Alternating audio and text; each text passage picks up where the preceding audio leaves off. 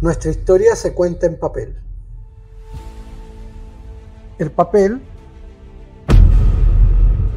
antiguo es un material constituido a partir de fibras orgánico-vegetales, polímeros orgánicos.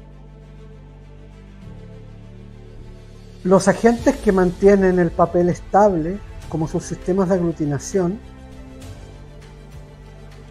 tienen distintas naturalezas.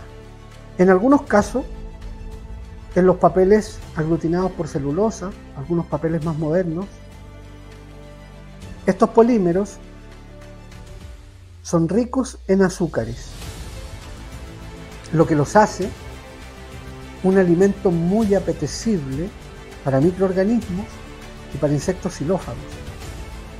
Esto va a incidir en su deterioro. Por lo tanto, ante cualquier acción debemos conocer estos factores que lo dañan y debemos emprender acciones inmediatas que permitan su control.